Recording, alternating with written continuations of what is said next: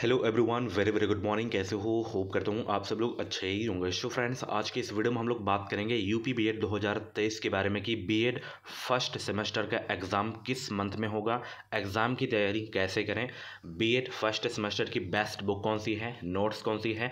कैसे बीएड में अच्छे परसेंटेज लाएँ, ये भी आपको बताऊँगा। और क्या अभी बीएड में डायरेक्ट एडमिशन हो सकता है या नहीं हो सकता है, सारी जानकारी आपको इस वीडियो में मिलने वाली है।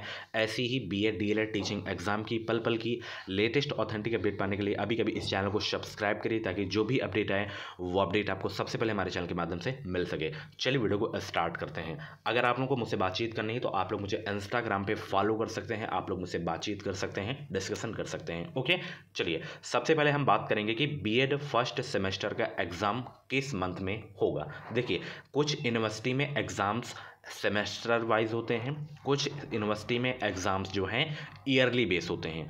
आप लोग एडमिशन ले लिए होंगे, आपको पता भी चल गया होगा कि हमारे कॉलेज में, हमारे यूनिवर्सिटी में किस तरीके से, किस टाइप से एग्ज़ाम होता है। देखिए, अगर आपका सेमेस्टर वाइज एग्ज़ाम होगा। तो आपके जो एग्ज़ाम्स होंगे, डियर, ये अभी आपका नवंबर स्टार्ट है। अभी तो देखिए एडमिशन स्टार्ट है। अभी मैं बताऊँगा कब तक एडमिशन अभी होंगे बीएड के। देखिए, अभी आपके पास समय है दिसंबर, उसके बाद जनवरी है, फरवरी है, मार्च है, अप्रैल है, मई है।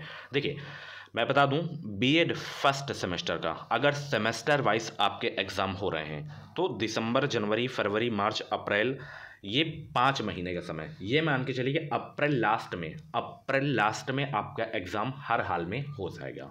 ओके वहीं अगर आपका ईयरली बेस एग्ज़ाम है तो ये मान के चलिए कि दिसंबर से आप आठ महीने ऐड कर लीजिए। आठ महीने बाद आपके एग्ज़ाम हो जाएँगे। ओके ईयरली बेस में केवल दो ही पेपर होते हैं। सेमेस्टर वाइज में टोटल चार पेपर होते हैं। चार सेमेस्टर होता है तो चार पेपर आपके होंगे। ओके तो ये आप लोगों को पता चल गया कि आपका एग्ज़ाम कब होगा। देखिए एग्ज़ाम की तैयारी कैसे करें? क्या अभी से बीएड की जो है तैयारी स्टार्ट कर देनी चाहिए? तो मैं कहूँगा, अभी से आप लोग परेशान मत होइए। ठीक है? अदर कॉम्पिटिटिव एग्ज़ाम की जो है प्रिपरेशन कर रहे हैं तो उसकी तैयारी करें। देखिए बीएड का जो है, इसमें क्या होता है? देखिए, कुछ यूनिवर्सिटी का थोड़ा पैटर्न चेंज है। उसमें क्या होता है, थोड़ा ऑब्जेक्टिव क्वेश्चन पूछ ले जाते हैं।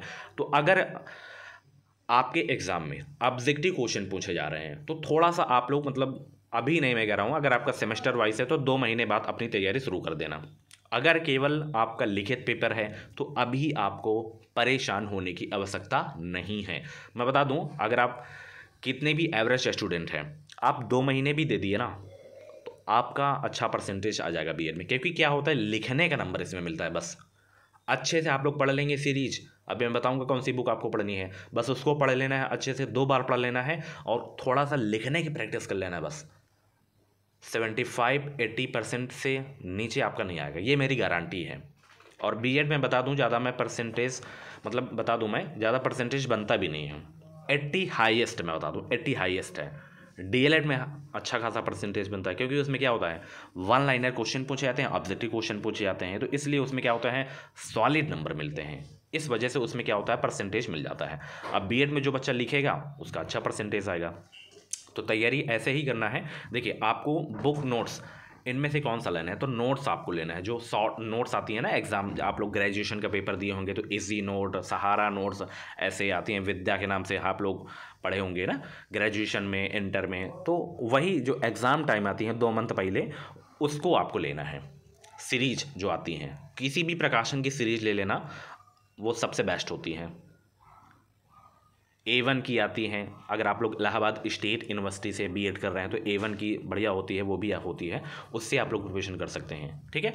तो नोट्स आप लोग लेना बुक्स में परेशान मत होना। बुक्स कोई ज़रूरी नहीं है मोटी मोटी ले लेंगे, आप लोग पढ़ नहीं पाएँगे रिवाइज नहीं कर पाएँगे। तो सबसे बढ़िया है, वो जो ए वन सहारा किसी भी प्रकाशन की आती हो आपके एरिया में तो उसको आप लोग लीजिएगा, ठीक है? उसको केवल पढ़ना है, थोड़ा लिखने की प्रैक्टिस करना है। अगर आप लोग अपने से कभी ग्रेजुएशन में एग्ज़ाम्स वगैरह में जो है नहीं लिखे हैं तो लिखने की थोड़ा प्रैक्टिस कर लेना। पढ़ के उसके बाद उसके बारे में थोड़ा सा लिखिए।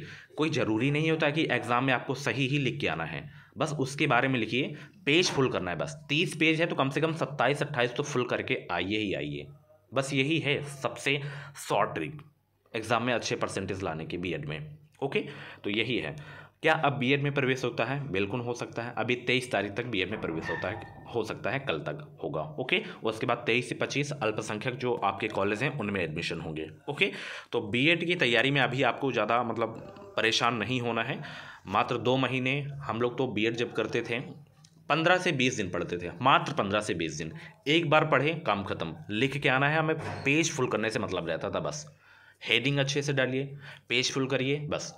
आपके नंबर्स अच्छे आएँगे बस, ठीक है? और नकल करके, करने के चक्कर में आप कभी मत पढ़ना बी में, कि मैं कॉलेज में बात कर लूँगा, दो हज़ार, पाँच हज़ार में दे दूँगा, मेरा काम हो जाएगा, मैं गाइड खोल के आ, मतलब कॉपी करूँगा उसमें से तो ऐसी गलतियाँ मत करना। तीन घंटे आपको मिलेंगे दो घंटे जो भी मिलते हो आप पैटर्न चेंज हो गया है बीएड का हम लोग जब बीएड करते थे तो तीन घंटे का समय मिलता था।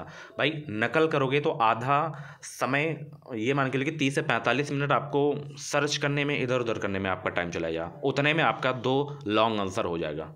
तीस चालीस नंबर उतने में बना सकते हो। ठीक है? तो क्वेश्चन तो बिल्कुल आपको नहीं छोड़ना है। अभी से ये बात नोटिस कर लीजिए। क्वेश्चन नहीं छोड़ना छोड़ना है।